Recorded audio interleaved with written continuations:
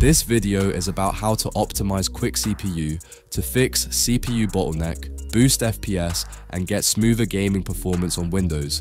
Before applying these settings, my CPU was hitting 100% in games while my GPU sat waiting. After optimizing with Quick CPU, I got a massive FPS jump and way better 1% lows. So make sure to watch this complete video.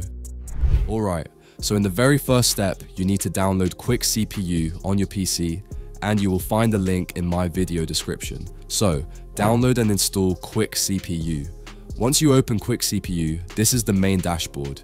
You'll see your CPU temperature, clock speed, utilization, and core info right here at the top. This gives you a real-time view of how your CPU is behaving. Now down here, you'll see sliders for core parking, frequency scaling, turbo boost. By default, these aren't maxed out, which means your CPU isn't performing at its full potential.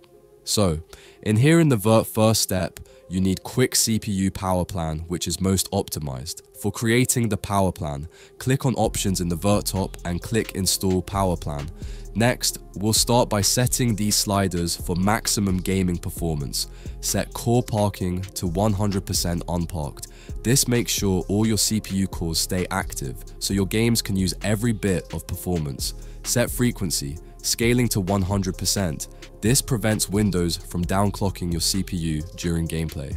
And keep Turbo Boost on, that allows your CPU to push higher clock speeds when needed. Then make sure the performance slash energy policy is set to performance. Finally, click apply at the bottom.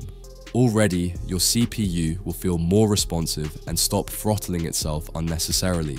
Now, click on menu and go for advanced CPU settings. Next, click on the turbo limits and ratios tab. Here you'll see turbo power limits and turbo ratios. We're not doing extreme overclocking here, just unlocking safe performance.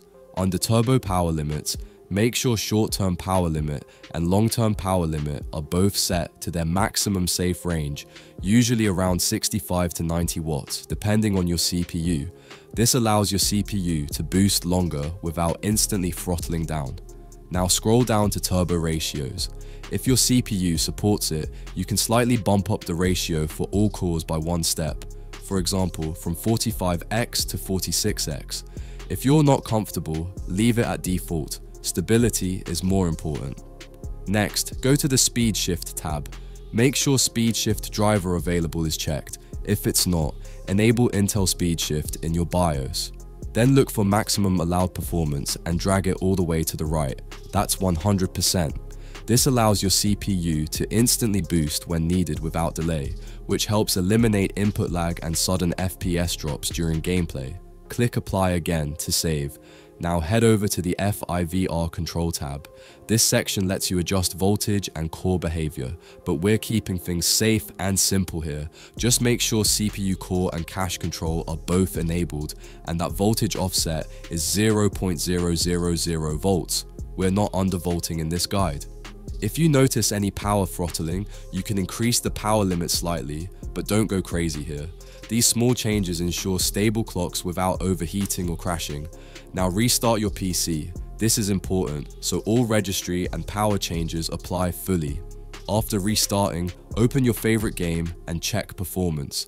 You should see better CPU usage, fewer drops, and smoother gameplay, especially in CPU heavy titles like Warzone, Fortnite, or Battlefield. And that's it. You've now optimized Quick CPU safely for the best balance of performance, stability, and smooth gaming. No risky overclocking, just smart tuning that brings out your CPU's real power. If this guide helped you fix CPU bottleneck and boost FPS, don't forget to drop a like, subscribe, and let me know in the comments what CPU you're using.